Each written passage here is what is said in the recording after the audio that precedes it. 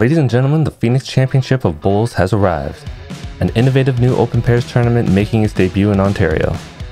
The Phoenix is adopting a new scoring format made famous by the Ultimate Bowls Championship in Australia.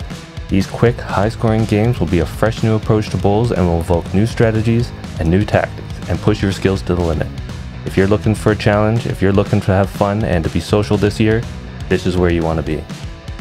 All events for the Phoenix Championship of Bowls will be played at the beautiful Burlington Lawn Bowling Club in Burlington, Ontario. This club boasts two amazing greens, have hosted a ton of great events, have an amazing clubhouse, and a bar. If you want some great bowls and a great atmosphere, this is where you want to be this summer. Tournament Challenge number one, Saturday, August 7th, 2021.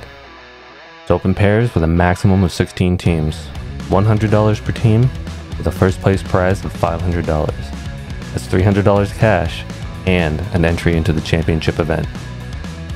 The challenge tournament will have two pools of eight teams. Each team will play a seven game, three bowls, five ends round robin, after which the four teams from each pool will move on to the next round. The next round, the top four teams will be split into two pools of four and will play a three game round robin, with the top two teams in each pool advancing to the next round. The semifinals and the finals will be a single game elimination.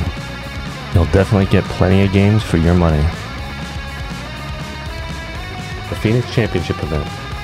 Saturday, September 18th, 2021. Open pairs, $200 per team, and an estimated top prize of $4,000. And that's based on a full event with 32 teams. This will be the same format as the challenge event, only bigger. Great bowls for your money, great top prize, and lots of great competition. What are you waiting for? Find more information and get your registry in today at www.phoenixbowls.com.